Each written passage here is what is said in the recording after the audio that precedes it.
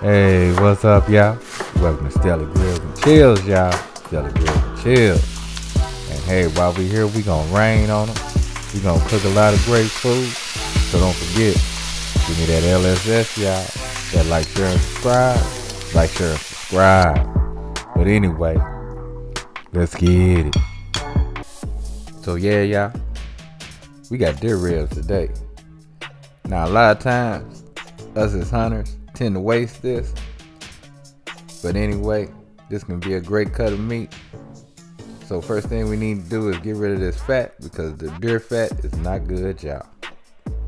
Now once we get it cleaned up, this is what it look like. So we want to hit it with our rub. So today, what I'm trying out is this Uncle Steve shake. This is the original, y'all. The original. So let's get it on on this rib. We want to make sure that we apply this kind of heavy, but not too heavy because their ribs aren't that thick. They're more like the flat ribs, the flat beef ribs. Meaty, but you know, not meaty like them pork ones. So this is what you should look like when you get it seasoned up. Now, of course, we did take that membrane off, y'all.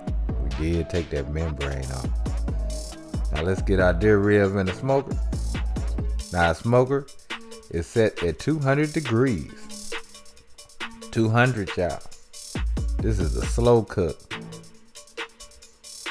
Now after being in the smoker for two hours, we're gonna get it out and we're gonna wrap it in foil. But before we wrap it in foil, we're gonna add two tablespoons of butter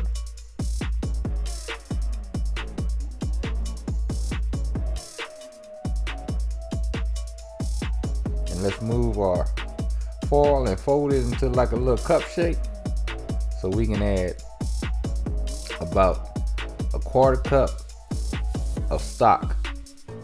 Now I'm using chicken stock here but you can use beef stock whatever kind of stock you like. You can even use vegetable vegetable stock if that's what you want to use. So let's get this wrapped up in our foil really well making sure that our stock is not going to leak out we gonna get this back in the smoker for about another hour. So yeah, this whole entire cook took about three hours.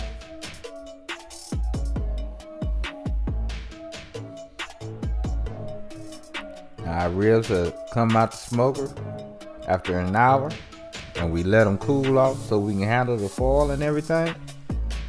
Let's unwrap our present, y'all. See what we got. See what we got, y'all.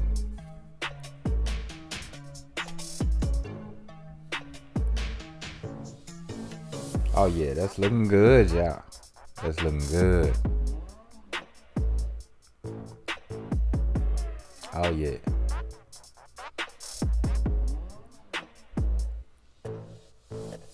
Now this one real. After giving it a taste with that Uncle Steve shake, came out great, y'all. It came out good. Now, like I say, the only thing about these deer ribs is that, you know, they're not that meaty, but they sure are tasty. I ate this whole rib by myself. But anyway, y'all, love, peace, and keep it grilling. See ya.